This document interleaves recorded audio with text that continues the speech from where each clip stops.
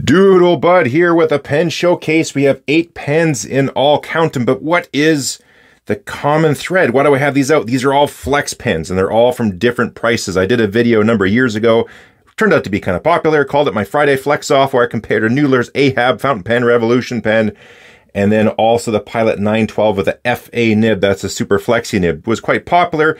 But since then, I got a bunch of other pens here and they're all flexi. So I thought we'd go through, compare, show you what they're all about. And at the end of it, I'm going to choose one pen. If I could only have one flex pen, which would it be? I'll let you know by the end of the video and we'll talk some more. Stay tuned. Let's get to it. Starting off the list here, we have this Jinhao X 450. You can get these and put what's called a Zebra G calligraphy nib on them. Now, this was actually sent to me by a viewer a while ago. Um, and this is a special one. Came from the UK from Derek Davis. He uh, he's a subscriber. He comments on the channel, so he sent this over to me. I wanted to use it, but when I got it, I guess he forgot. He left it kind of inked and uh, for quite some time, and everything was all gooed up and, and actually corroded. So I uh, I forgot to to kind of get to the cleaning. I cleaned it took it apart, but then I had a lot of trouble actually getting the pen to work. So this is a popular thing I've seen is where you get a Jinhao pen and I guess maybe they do some modifications and then you put a Zebra G nib onto it. I've, I haven't heard the best results from that. And so I got this thing back together, cleaned it all out. It needed a lot of ultrasonic cleaning. The feed was all kind of gooed up. I even opened it up just a touch to promote flow. But here's inlays the problem. What we have here is a giant gap between the nib and the feed, all that space. This sucker should be down, you know, nice and tight and snug to get the proper ink flow going on. So I've been uh, playing with this adjustment, and that's one thing with these is the fitment is so tight. You gotta just cram that in there. I put it in there as, as good as I could, even with a grippy thing wrapped around there, and it's it's, it's just not fitting quite well. So I can't even demo this pen to use it um, just because as soon as you put ink in it, it all just falls out of there and, and it's not even, uh, you know, able to write and hold ink in the converter and even test the pen. So this is one option that's out there. I know this this this is worse than uh, what other people have had uh, by by far. You can at least get them to write, but I haven't seen the the best results from those. And maybe you have to do a lot of tinkering, but just taking a Jinhao, fitting it with the Zebra G nib. Um, yeah, I, I, if you spend a few more dollars than that, you can actually get a surprisingly good pen. And that pen would be the Noodler's Ahab, the oh so popular first sort of entry to, to flex pens for a lot of folks. I'm not going to do full review on the pen. I've done one before. You can find a bunch of others. We're going to talk about kind of flexing. What's different uh, since I last did my video on this with the comparison is now it has a different nib. This is actually untipped. There's no tipping on this nib whatsoever, so you get even greater line variation. That's kind of cool. You can buy extra nibs for these. They're pretty reasonable price. And this is the feed that I did a serious hack job on. Went a little too aggressive, but you can see the ink is just dying to flow. So we're going to show that pen how it compares as well. Um, and that's another neat thing. Even if you mess up the feed when you do an adjustment, I think these are only about five bucks when you go to order something like that, um, you can pick up an extra feed. You can have a nib. This is one that I actually I ground one to a cursive italic flex because I want to try playing around with that. So that's one cool thing with the Ahab. It is a tinkerer's pen. Don't expect it to be perfect out of the box. If you got one, go buy a lottery ticket because that was very rare. But if you're willing to tinker and play around, uh, this is a pretty fun pen. So I couldn't fire this one up, but let's just do our first writing sample. I'm gonna do the same sample for all the pens, try to keep it consistent. Then we'll, you know, do a comparison uh, at the end. But to break the video up, we'll talk about the pens, do a writing sample, and continue on.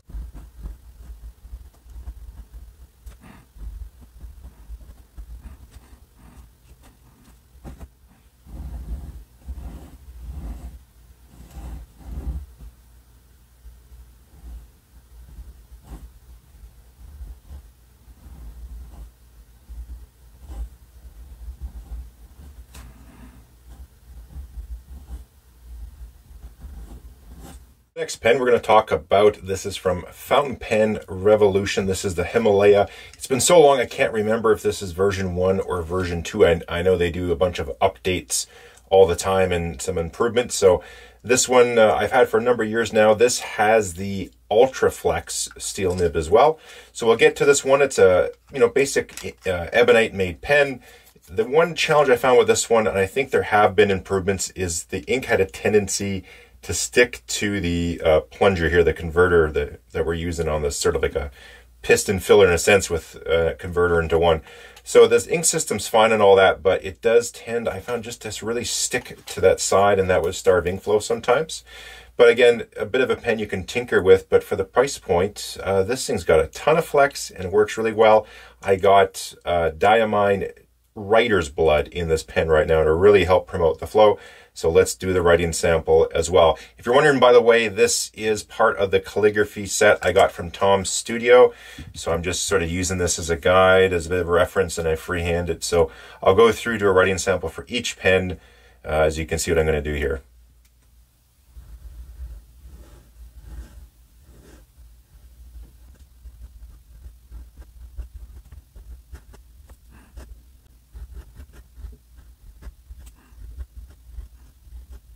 Up comes from us from Osprey pens. This is the Osprey Milano in uh, red jasper. This pen was sent to me to review uh, by Osprey. And actually, it was kind of cool. I think that might have been the first pen that was sent to me review or something like that. And they also, or actually was my first discount code, which is still active, 10% off on their website if you enter in the Doodlebud.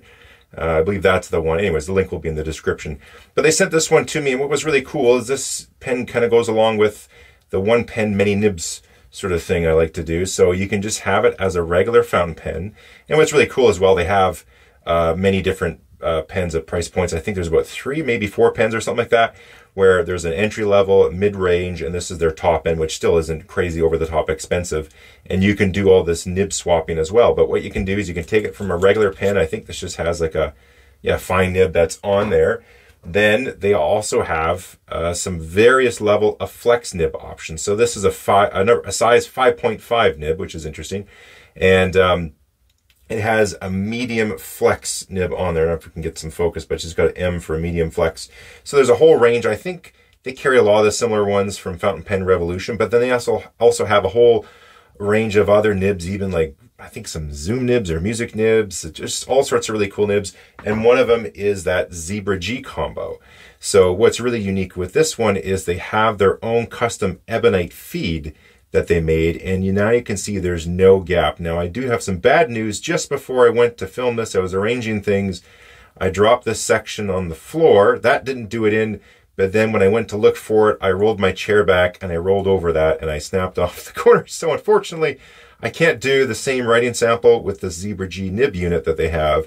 So I will use their 5.5 medium nib for the writing sample. But what I'll do, I'll splice in some other footage from a, a previous video I did, just so you can see, because this thing's really good. I, I think they've kind of mastered that fitting a Zebra G nib to a fountain pen and using fountain pen inks and doing, you know, with a proper calligraphy nib. This wouldn't be something you use for journaling and note taking all the time. This is for really practicing proper calligraphy but you can take it with you on the go, which is really nice as well. Again, one thing to keep in mind with Zebra G nibs is they are like they do corrode. This has a, a, coating on it, but you can't just leave it in the pen inked for a few weeks and come back to it. You do get corrosion on it as well. So that's one of the uh, things you keep in mind uh, when using these Zebra G nibs. But I'll splice in some footage and then I'll go ahead and complete the writing sample with this nib unit here.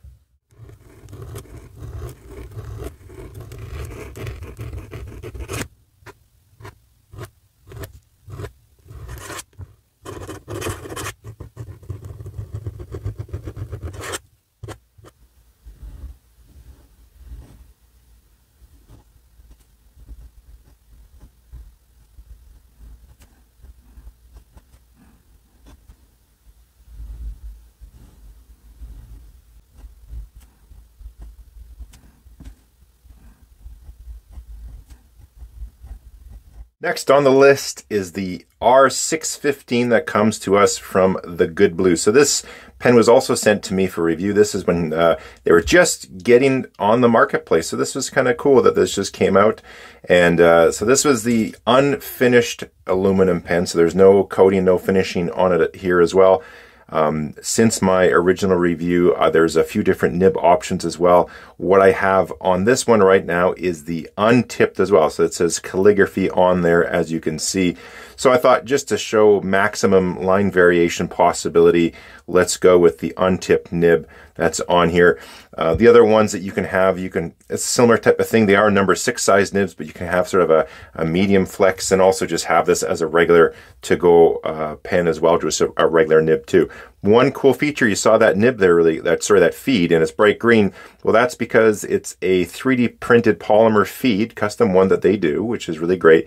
This thing has lots of flow. I haven't had any issues with this hard starting, uh, like kind of skipping railroading too much. If you go too fast, obviously, you're gonna that's gonna happen. But for proper speed and everything else, this feed works quite well. It's white when you get it, and then it takes on whatever ink color you put in there. So obviously I got some green ink in here right now. So let's do a writing sample on this one uh, to finish this part off. And at the end, we'll, I'll talk all about the different experiences with these pens, but let's get writing with this.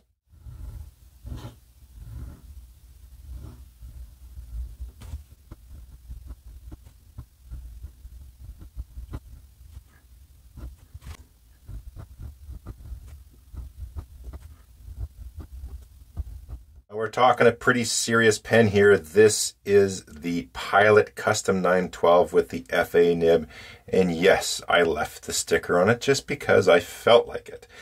This pen here has a pretty notorious nib. A lot of people know about this sucker. This is, you know, we're hoping to have a vintage-like flex nib on a modern day pen. So this is Pilot's attempt at that. It's pretty darn good. Uh, the pen writes wonderfully if you scrap the stock feed and get an aftermarket feed, which is annoying for a pen of this price point. Now, there's long discussion chains on bulletin boards or Reddits or on the fountain pen network threads that uh, what's our writing style versus their writing style. The feed's just fine for that, blah, blah, blah, whatever. If you want to get some serious flex out of this pen, um, this, the stock feed just won't do the you know it just won't keep up versus you you spend a few bucks and get this custom ebonite feed. There's a two slit and three slit option. This is the three slit so this thing uh, you know can throw down some serious flex and now some serious ink. And the ink i'm using because it's the pilot i haven't used this for a while but it's the iroshizuku Konpeki and i'll say another controversial thing here if possible in the fountain pen community.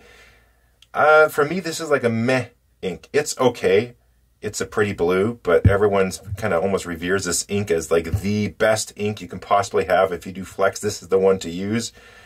For me, it's a, a nothing burger. There's plenty other inks I like and prefer way more than Konpeki. So I think it's like a sort of so-so okay ink, but not uh, not any of my favorites at all. But I put it in here. Pilot pen, pilot ink. Let's do it.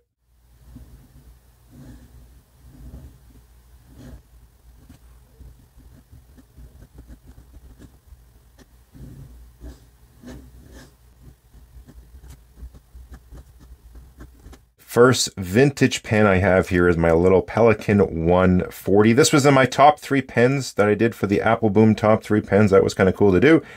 I think it probably might still be in my top three pens. Now this is a nice flexi nib. This is by no means a like you know Waterman's super wet noodle pen that you can get those gorgeous nibs that just are crazy flexy. This is not that. But for everyday writing, this is a lovely little pen that you can use all on its own. But if you want to get some flex on, not go overboard, this is a great pen. So let's get writing with it so we can get the writing sample and compare.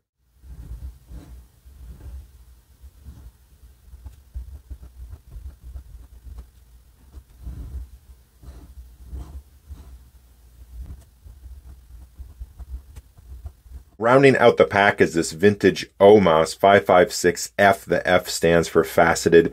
So uh, this was a bit of a large purchase for me. This was the most I've ever paid for a pen. I have some that are worth more than this, but I paid less because I got a really good deal.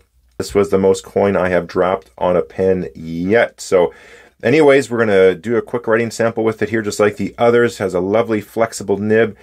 Uh, the thing performs really well. Like, I don't know, I don't think it's ever railroaded maybe once or twice if I was going too fast. So really performs well. I'm not sure if I'm going to keep this one forever. There's just something about it where I'm not just head over heels in love with the pen, despite the fact it works fantastic. Maybe it will be, maybe it won't, but uh, let's lay down a writing sample just in case I do get rid of it one day.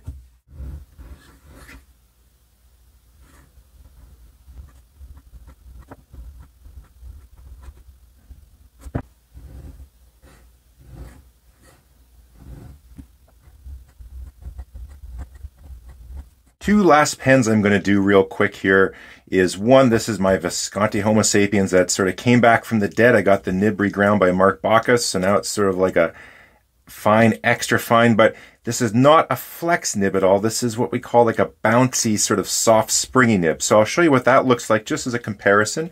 And then we have a vintage version of the same type of thing. This is a little bit more bouncy. I wouldn't really quite call this flex, but it's got some softness to it, a nice bounce to it as well.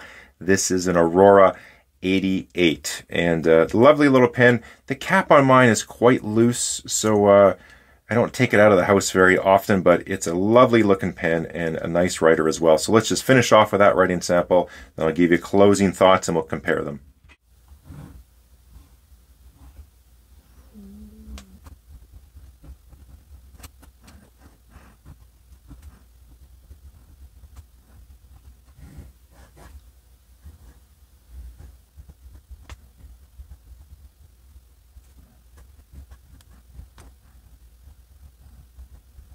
Now, first up I wrote with was that Noodler's Ahab. Now it has that untipped nib, and you can see the difference it makes, those thin cross strokes to give that sort of maximum line variation. It is quite smooth for an untipped nib, so I'll give it that. So it's quite uh, it's quite nice. You can use this almost as a daily writer. It's you know it is gritty, but for untipped, very good. But you do have to put some force onto it. It's no wet noodle where you just barely touch it and the tines separate. It is steel, so you do have to put some pressure on it. After that, here we got the fountain pen Revolution Ultra Flex nib that I got on there. Now, I did another writing sample after this because this wasn't fair. This isn't, uh, well, this, this is paper that came from the kit that I got from Tom's Studio, and the, the fountain pen ink is a little bit different than the proper calligraphy ink. So, and this is also writer's blood, which is unnecessarily wet. You, you just, you don't need an ink that wet. So on this paper that can handle anything, it's it is actually bleeding a little bit on there. So to be fair, I took out some Rhodia paper and started writing, and I was even writing too small. You can still see it's almost bleeding on the Rhodia as well. So I started writing really big and this thing just keeps up like crazy. Then I hit this mega fast after doing all that, and it finally railroaded barely, but then it recovered. So it's got a, a feed that works quite well. You might I've heard some people say they have to tinker with theirs to help it keep up, maybe open the channel a touch.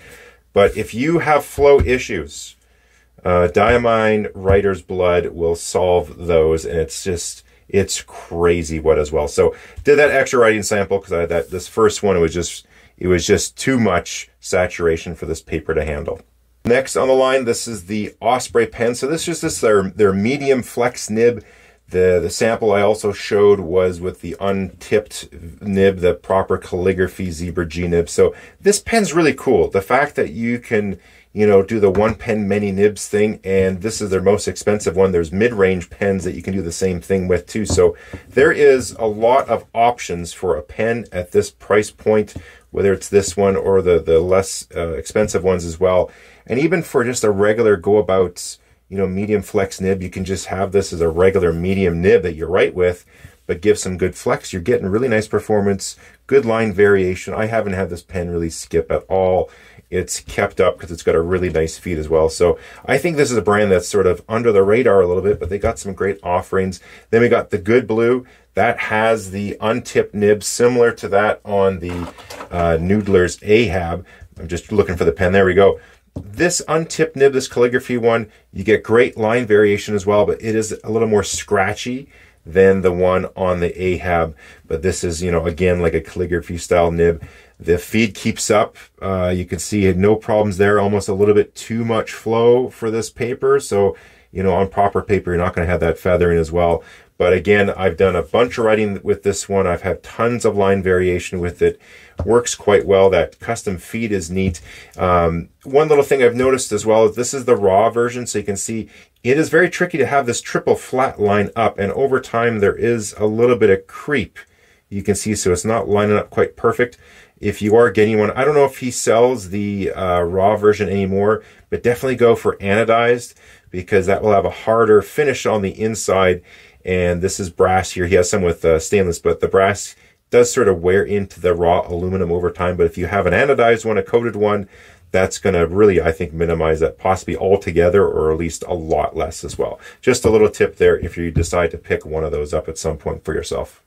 The Pilot 912 held up just fine. Lots of line variation. Uh, very soft for flexing. So this nib is, you know, quite light pressure. You get lots of flex with it. It is disappointing. The flow is an issue out of the box, but you can fix it with the aftermarket feed. It's uh, quite light. It's comfortable. It's a Pilot, so it's well made.